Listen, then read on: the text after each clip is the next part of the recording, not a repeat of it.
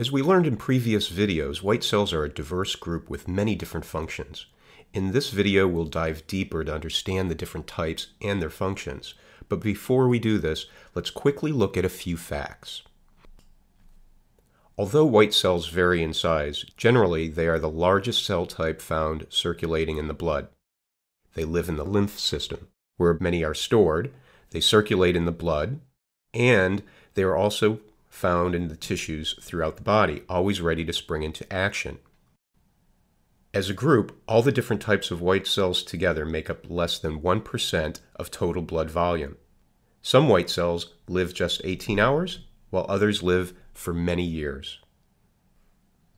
Now let's take a closer look at the different types of white cells and the role each plays in protecting the body.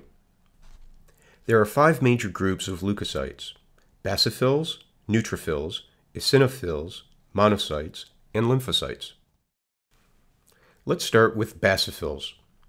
These white cells defend against parasites and bacteria by releasing histamine and heparin. Heparin is a blood thinning substance, and histamines are what cause allergy symptoms. Basophils are not antigen specific, meaning they don't have to determine what the invading substance is before taking action. They spring into action any time a foreign substance is detected. Next up, let's look at neutrophils.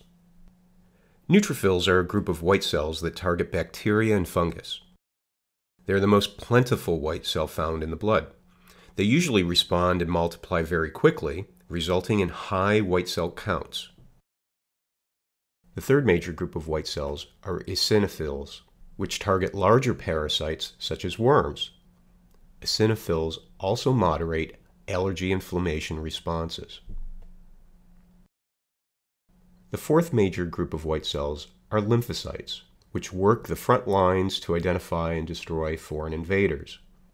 In this group, there are three primary types of cells B cells, T cells, and natural killer cells.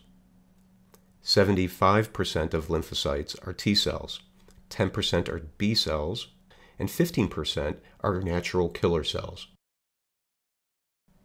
B cells circulate on the front lines of our blood and lymph systems, and they reside in tissues throughout the body.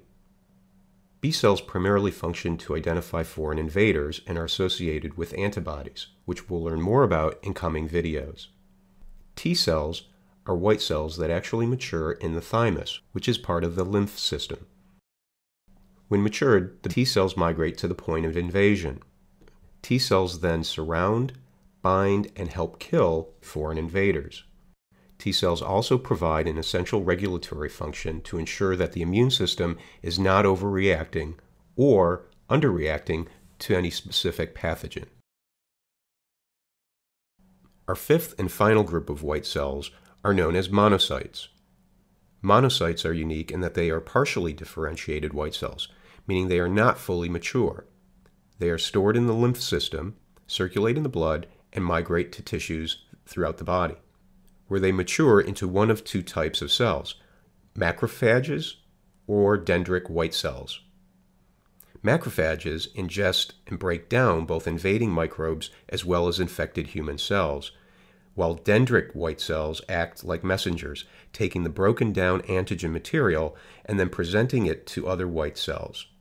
Typically B cells, which will identify the antigen and then trigger a chain reaction that helps activate T cells. Monocytes are also involved in the production of cytokine protein molecules, which carry signals between cells. There are many types of cytokines, one example tied to monocytes is histamine, which leads to an inflammatory response to an antigen. In coming videos, we'll get to see more about how these white cells work together.